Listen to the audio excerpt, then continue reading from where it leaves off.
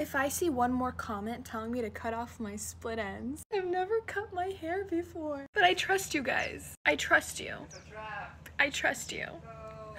Mother, mother, I demand you to cut off my split ends. Hold up, I'm like scared. Wait, wait, wait, wait, wait, wait, wait. Apparently they're dead. Yeah, they're dead. I'm gonna get called a crybaby. This isn't even a haircut.